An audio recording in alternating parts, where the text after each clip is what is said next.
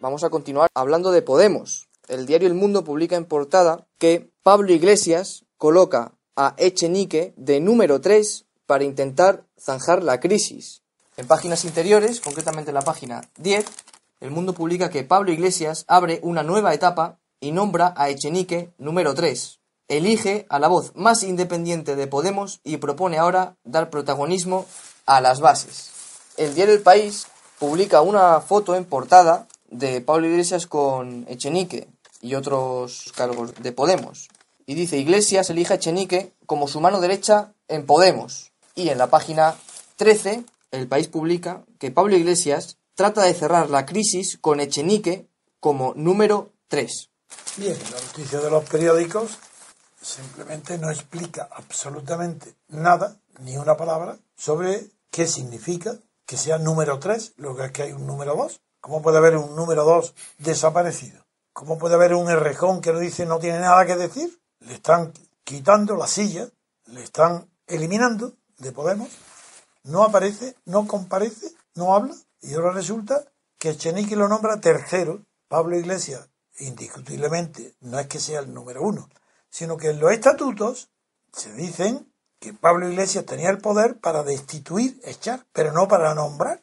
Y ahora resulta que sin el rejón presente nombra nada menos que al responsable secretario general de la organización. El tercer puesto, el tercer puesto en importancia. Y el rejón callado. Yo dije ayer que Rejón había perdido la batalla por no haber plantado cara porque es un hombre que no tiene temperamento político. Mientras que Pablo Iglesias es un típico político con ambiciones y con rapidez de reflejos políticos, que no tiene nada que ver con lo que dice, lo que él hace, sus decisiones políticas, su carácter firme, autoritario y dictador, no tiene nada que ver con las palabras que pronuncia contrarias a ese carácter autoritario, a los círculos, a Podemos. Y ahora resulta además que este hombre, Pablo Iglesias, el dictador de Podemos, nombra como su segundo, porque el segundo ha desaparecido, a Echenique, conocido hasta ahora porque era la única oposición seria que había a Podemos y que defendía las bases democráticas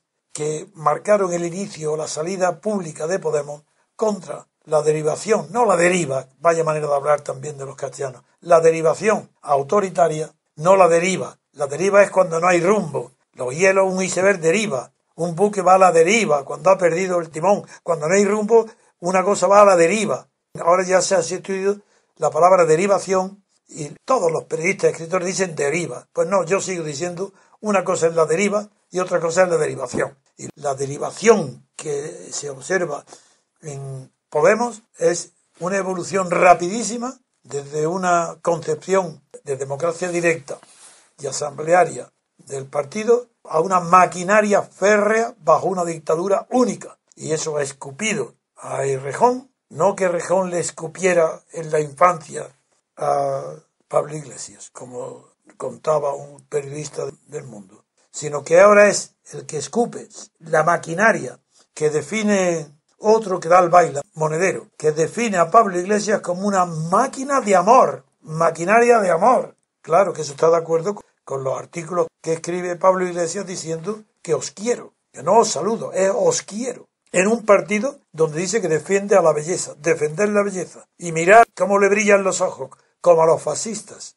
Claro, que me digan que me precipito. Cuando desde que inicié el nombre de Pablo Iglesias dije, este es un fascista, nada de comunista ni nada de leninista, ni conoce la vida de Lenin, ni ha leído una sola obra de Lenin, no sabe nada.